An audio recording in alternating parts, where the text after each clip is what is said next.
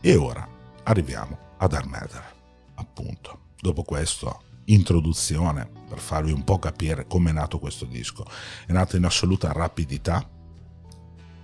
In realtà ci sono altri dischi dei Per Jam che sono nati comunque mm, in un periodo di tempo abbastanza breve.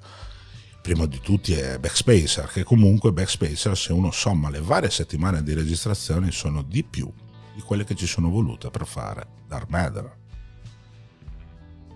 E allora era lecito anche pensare che avremmo potuto ascoltare un disco un po' figlio di una registrazione molto veloce, di un'incisione molto veloce, di una scrittura soprattutto molto veloce. E invece no. E invece Dark Matter è un disco che altre band ci avrebbero messo una vita per farlo ma i che sono in giro da più di 30 anni, questo è il loro 34 anno di attività, sono riusciti a creare un lavoro, un disco, che seppure non rappresenta come um, alcune prime voci riportavano un, un ritorno all'origine, e spesso lo si sa soprattutto con quelle band che um, una certa longevità, sono in giro da parecchio tempo, spesso quando esce un nuovo loro disco, oh, questo è il ritorno alle origini. Non è un ritorno alle origini perché alla fine i Per Jam non hanno più 30 anni e se qualcuno eh, ascoltando Dark Matter pensa di trovarsi di fronte a un nuovo Ten un nuovo Versus è concettualmente sbagliato perché comunque una band che ha il doppio dell'età quando aveva inciso quei dischi non può fare un disco del genere e non avrebbe neanche avuto senso e soprattutto perché fare un nuovo Teno Versus ce li abbiamo già no? in questo disco però i Per Jam ritornano prepotentemente con delle canzoni che mettono, che riescono a mettere in luce le loro peculiarità, la loro peculiarità del sound, dell'essenza stessa del gruppo. Ci sono molti mid-tempo, e con i mid-tempo lo sappiamo molto bene, i Per Jam sono sempre stati dei fuoriserie. Pezzi come Light Years, Art to Imagine, Love Boat Captain, In Hiding, i primi che mi vengono in mente, sono assoluti capolavori. Quindi finalmente un produttore ha capito che la vera potenza dei Per Jam, soprattutto da un punto di vista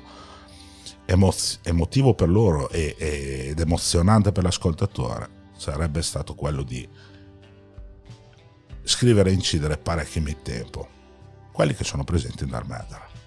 Attenzione, non è un disco solo di Dark Matter, perché qua, eh, di, scusate, non è un disco solo di mid-tempo, perché quando la band decide di fare, di incidere canzoni abbastanza toste, lo fa e mica se sono toste, veramente parecchio toste. Quindi Dark Matter riesce, secondo me, a rappresentare, senza iperbole, uno dei migliori dischi incisi dai Per Jam in tutti questi anni. Non mi importa di dire è meglio di questo, è meglio di quell'altro, è un giochino che non è interessante perché alla fin fine ognuno può rimanere legato di più a un disco precedente dei Per Jam, casomai uno dei loro primi, perché comunque la sua vita, mh, mm, a volte uno la, la musica che uno ama in un periodo della sua vita l'associa alla sua vita stessa, a quello che gli capita e quindi se siete anche voi pian piano invecchiati, per modo di dire, se avete più anni, è ovvio che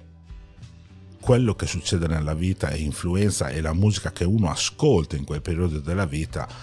uno la può prendere, la può assorbire in una maniera diversa rispetto soprattutto a quando era un teenager. Detto questo, grazie a Andrew Watt, che era la cosa, il personaggio in questione che più mi faceva paura di questo Dark Matter. La scommessa è stata vinta, ma vinta la grande. Perché Andrew Watt, che mm, è nato esattamente due giorni prima del primo concerto di sempre dei Per Jam, Lui è nato il 20 ottobre del 1990 e i Per Jam si sono esibiti per la prima volta all'Off-Ramp Café, il 22 ottobre di quell'anno. Quindi si pensate alla metà dei, dell'età che hanno invece i Per Jam. E quando lui nasceva i Per Jam probabilmente stavano gemmando release, no? È abbastanza interessante questo discorso perché comunque Andrew Watt era il personaggio che un po' più mi faceva paura relativamente a questo disco perché se ricordate la mia recensione di Earthling eh, io un pochino bastonavo la produzione di Andrew Watt che era un po' troppo eh, diciamo compressa un po' troppo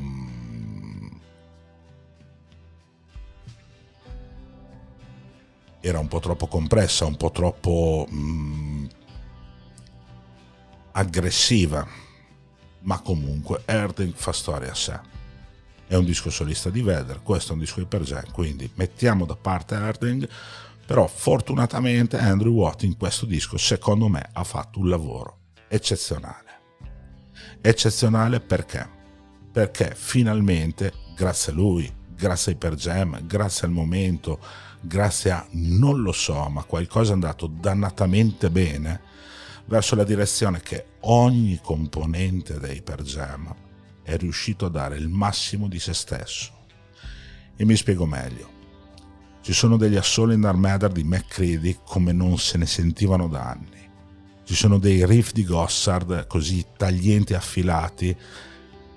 come non se ne sentivano dai tempi dell'avocado, più o meno il basso di Jeff, beh, è sempre stata mm, una cosa squisita nelle canzoni dei Per Jam, ma qui quando viene messo in evidenza, beh, cazzo, è incredibile. Matt Cameron, Matt Cameron, forse il vero re del disco perché non è mai suonata così bene la sua batteria in nessun altro disco dei Per Jam. E eh, lui lo sappiamo, è un, è un leone, con i Soundgarden ha fatto roba assurda, con i Temple of the Dog ha fatto roba assurda e così come con tutti i suoi gruppi paralleli, ma con i Per Jam, tranne alcune canzoni di Binaural, e mi viene in mente Grievance, Insignificance, così, ha sempre un po' come si può dire, suonato eh, senza tirare fuori la quintessenza del suo suono di batteria. In questo disco salta fuori alla grandissima e soprattutto si fonde perfettamente con questo sound, con il sound che predomina e predominante dal Medra.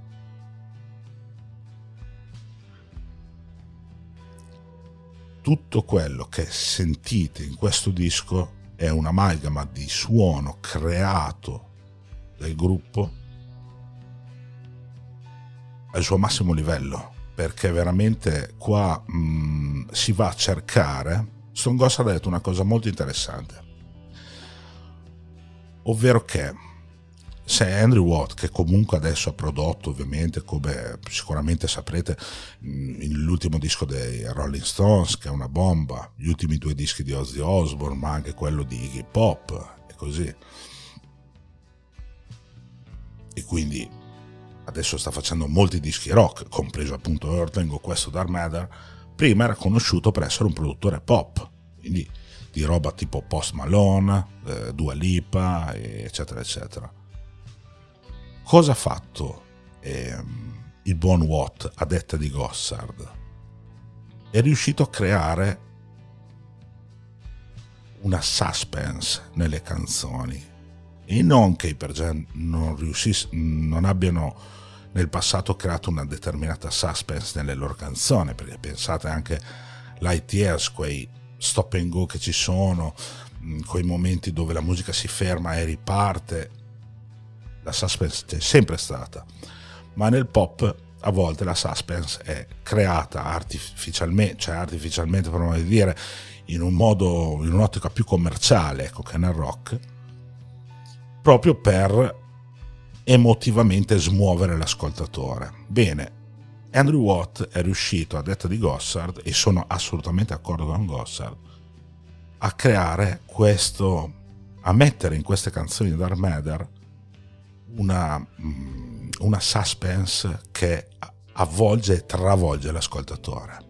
Quindi Andrew Watt, grande, bravissimo. Sulla compressione del, del suono, così eh, ne parleremo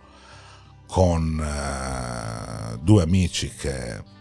a breve farò intervenire sia nel podcast che in altri luoghi e che ne sanno più di me e non voglio perdere del tempo io a dirvi cose sul sound in sé, sulla compressione, eccetera, eccetera, quando ho due fuori classe che ne sapranno parlare molto bene a tempo debito.